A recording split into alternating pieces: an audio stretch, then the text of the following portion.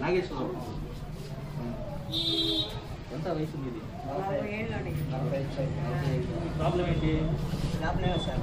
మమ్మల్ని ఎగబడకుండా మా మీరు పోయినా కూడా ఎగబడతారు సార్. వాళ్ళు ఆడవాళ్ళు మగవాళ్ళు ఎగబడతారు మా మీద రాకుండా వాళ్ళు చూడమని పడతారు అంతే. మా ప్రాబ్లం ఏమి లేదు అదే.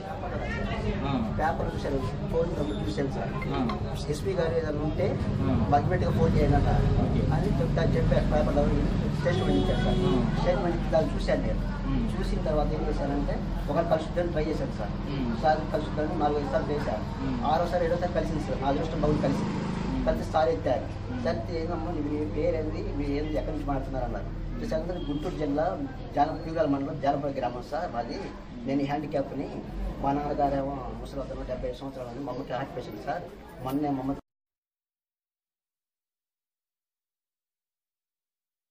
నేను ఉన్న ప్రాబ్లం చెప్పుకున్నాను. ఎస్పీ గారు ఎమ్మడి స్పందించారు నన్ను. ఎస్పీ గారి వల్ల ఎస్పీ గారు మా ఇన్స్పెక్టర్ గారికి ఎమ్మడి చెప్తా ఉన్నారు చెప్పారు ఇమీడియట్గా చెప్పారు. ఇన్స్పెక్టర్ గారు మా కాడికి వచ్చారు. వాళ్ళని కూడా తీసుకెళ్ళారు మమ్మల్ని తీసుకెళ్ళారు. ఇద్దరు విచారించారు.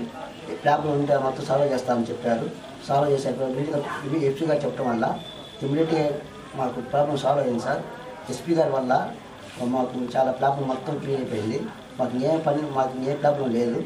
మాకు ఎస్పీ గారి దయ వల్ల మాకు పోయి రూరల్ స్టేషన్ ఇన్స్పెక్టర్ వల్ల మాకు ఎమ్మడిగా ఇమీడియట్గా మాకు ఎం ఎమ్మటి స్పందన దొరికింది. అది ఎస్పీ గారికి రూరల్ ఇన్స్పెక్టర్ గారికి అందరికీ ధన్యవాదాలు చెప్తూ మేము సెలవు తీసుకున్నాం సార్.